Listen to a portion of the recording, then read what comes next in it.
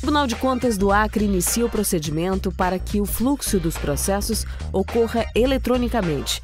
O presidente do TCE, o conselheiro Cristóvão Messias, já está despachando processos de forma eletrônica.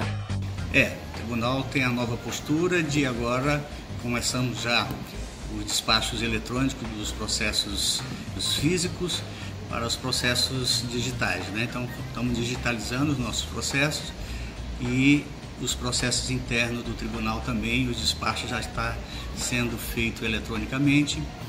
Com isso, nós damos mais agilidade ao nosso trâmite processual dentro do tribunal.